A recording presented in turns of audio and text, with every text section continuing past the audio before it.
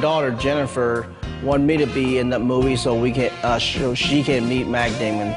So I asked the producers, hey, I, you know, if you want me to sign a release form for the uh, part of the World Series of Poker, uh, I, I gotta be in the movie. Did you have it? I'm sorry, John. I don't remember. Rounders was good for Johnny Chan, and this game is starting to get good for him as well.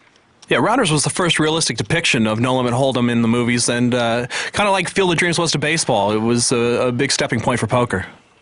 Action's on Gus Hansen now. Gus with the deuce eight offsuit, he's finally found a hand that he'll throw away. Johnny Chan's not going to throw that away. A pair of bullets. Beautiful. Johnny Chan's pick up two aces. He just grabbed momentum in the last hand, picked up a big pot, and now two aces right away. This is really going to help his comeback attempt here. Phil Ivey thinking of playing.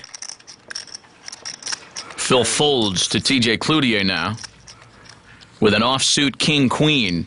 And that's a hand he has a lot of options with. He could call, raise, or fold. Wife Joy watches him raise 135,000. He's making a play at Johnny Chan.